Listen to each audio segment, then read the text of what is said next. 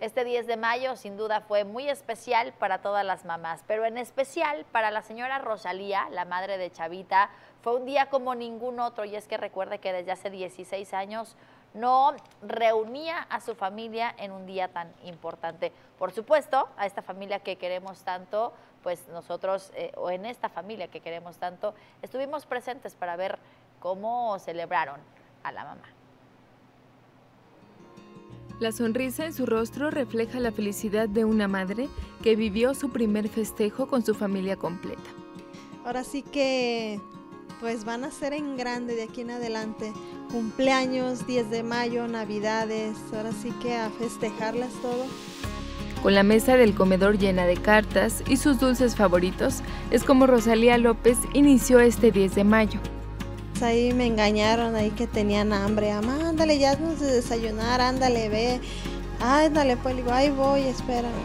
Ya cuando bajé hasta con canción y todo, ya me tenían preparado mis regalos y todo, abrazos, apapachos. Un Día de las Madres distinto, uno muy especial, en el que las lágrimas se vieron reemplazadas por abrazos de su esposo Yacir, un pilar importante en su familia, y de sus hijos que los han mantenido unidos, Juan Pablo, Ana Paola y Chavita, que volvió a sus brazos tras 16 años de ausencia.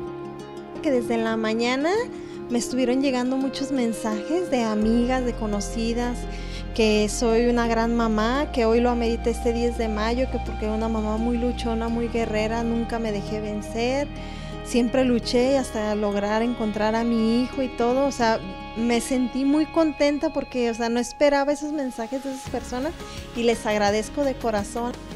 Con el corazón del mismo tamaño que tienen otras madres, es como envía un mensaje especial a aquellas que se mantienen fuertes, inquebrantables y luchando por reencontrarse con sus hijos sigan echando muchas ganas, no, ahora sí que no, no se den por vencidas ni nada y pronto Dios les hará el milagro como a mí, a mí me lo hizo. Con imágenes de José Contreras, Perla Burciaga, Quiero